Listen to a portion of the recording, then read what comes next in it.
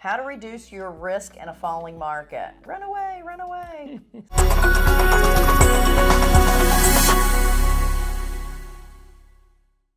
we need to calculate and adjust for what the current market is, right?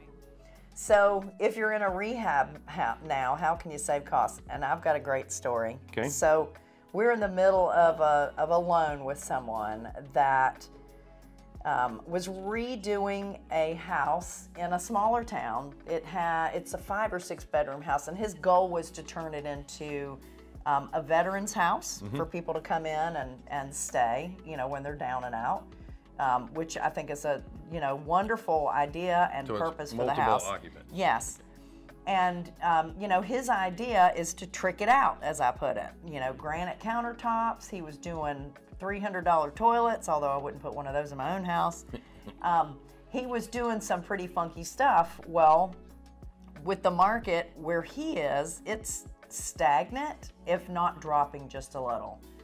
And now the DSCR loans, those loans that you can use to refinance a house long term, um, they're dwindling, harder to find. So I am doing everything I can to convince this gentleman to change his rehab because he's at a point where he can do it, lower his rehab costs to save money because when he goes to refinance it, he may not get the same appraised value that he got when he did the loan with us in the first place. Might have to bring money to the table with him. Yeah, so you got to think about things, you know, what can you do to save costs? Do you really Right. need that top notch landscape?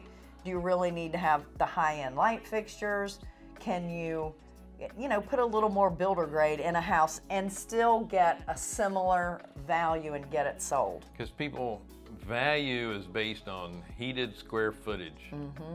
And homes that are surrounding it that are of like value. Mm-hmm. Um, you can put all those extra things in there, and yes, it'll be worth a, you know slightly more, but it's never going to offset the cost of you putting it in there. Right, Uh, not in a down market. right. Good point. Can you hold it rather than flip? Another great story. It happened to me. I finished a five bedroom home in downtown Rock Hill that had two master suites.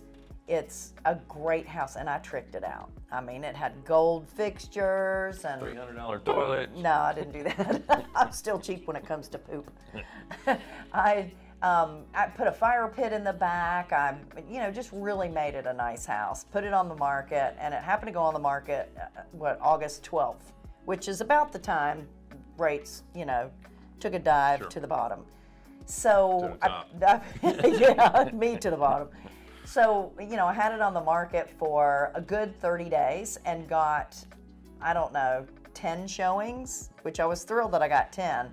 Zero offers, and I should have gotten some great offers. And I, you know, in seven days, I reduced it immediately and, you know, kept trying to chase after that, and then realized that the best thing for me to do is to turn that into a um, furnished finders rent by the room. So I went in, I quick changed all the doorknobs on the bedroom to combo doorknobs and now have it on furnished finders and renting it in 13 week increments for each room and making good good good money out of it Good. um, because I'm able to rent by the week um, but I have a minimum of a month's stay in there so it's it's pretty cool pretty cool Sweet. Sweet. can you add an ADU what is an ADU It's basically a mother-in-law suite or a, like a, uh carriage house. Additional dwelling unit is what it stands for. I was looking for the Okay, real words. All right. Sorry. I was giving examples. That's right. That's right. A lot of people do it for short-term rentals, um, for guests that come in. It might be the man cave. Uh, but the thing is, is can you add that in the backyard? Because it is another opportunity, not only to have more income out of a property, but if you're going to sell it, it can make it easier to sell when people who are trying to qualify for a loan know that they can get income from uh, that additional dwelling unit in the back. And not only can you add it based on the amount of money you're going to spend and what you're going to get out of it, but can you do it because the municipality may not allow That's those right. types of units in there. That's right. Now, the city of Charlotte, where we're from, um, they, them. Oh yeah, they love them, and then they they passed some kind of uh, code that everybody can get one now.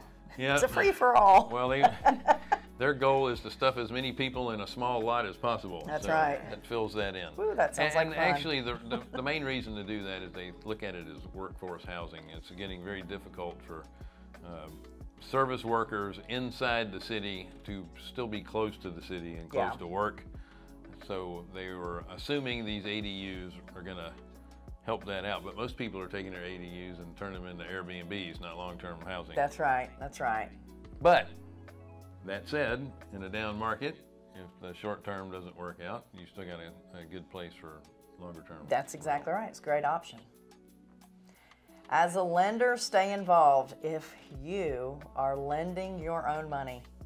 And I highly suggest that you do. This is it's always a great time to be a lender, isn't it? Mm-hmm.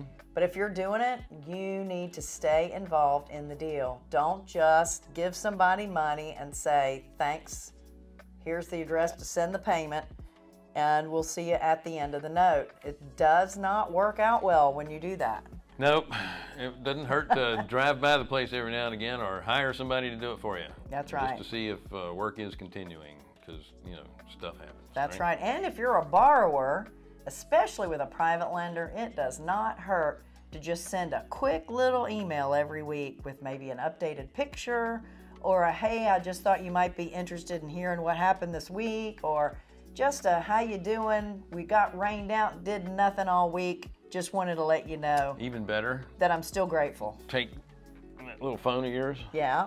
and shoot a video Oh yeah. saying the same thing to them, and then shoot it to them. That's right. That's right. Stay involved.